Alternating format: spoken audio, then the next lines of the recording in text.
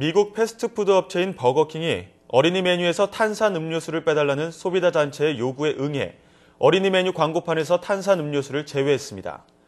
버거킹은 이런 내용을 공식 발표하지 않았지만 지난달 말부터 매장에서 이 방침을 시행하고 있다고 USA 투데이가 전했습니다. 이에 따라 맥도날드와 웬디스에 이어 버거킹도 어린이를 대상으로 한 탄산음료 판매 전략을 사실상 폐기했습니다. 알렉스 마세도 버거킹 북미 지역 사장은 인터뷰에서 이런 방침이 소비자의 요구에 대응하기 위한 대책의 하나라고 설명했습니다.